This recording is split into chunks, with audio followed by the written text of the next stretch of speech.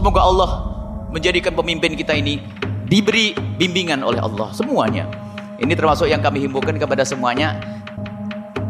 Kita tidak ditugaskan untuk mencaci dan mengolok. Sudahlah yang Allah berikan kepada kita, yuk kita ya sudah yang kita berikan apa pun yang diberikan. Mungkin Pak RW kita sedikit rewel kan Pak RW kita ngurusi kita juga kita doain Pak Ku kita misalnya kurang begini nggak ada yang sempurna cuman tugas kita adalah mendoakan bukan mencaci. Kita doakan agar semua menjadi orang soleh orang baik ahli surga. Kalau doa kita dikabulkan enak bahagia berubah semuanya.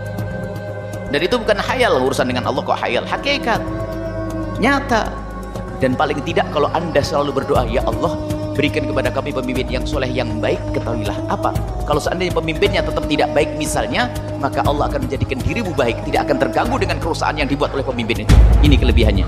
Kalau anda selalu berdoa ya Allah jagalah pemimpin kami ya Allah. Berikan petunjuk ya Allah. Bimbinganmu ya Allah.